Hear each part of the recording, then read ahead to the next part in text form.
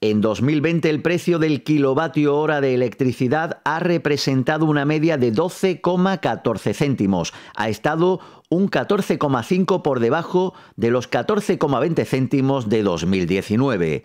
Se trata del precio que pagan los usuarios con la tarifa semirregulada PVPC, que ofrecen las comercializadoras de referencia impuestas por el Gobierno. Todas las ofertas lanzadas por las eléctricas en el mercado libre han sido más caras que el PVPC, según los análisis realizados por Facua Consumidores en Acción. El mes con el kilovatio hora más barato de este año ha sido abril, situándose por debajo de los 10 céntimos, un precio sensiblemente inferior a los 12,41 céntimos del mes más barato de 2019.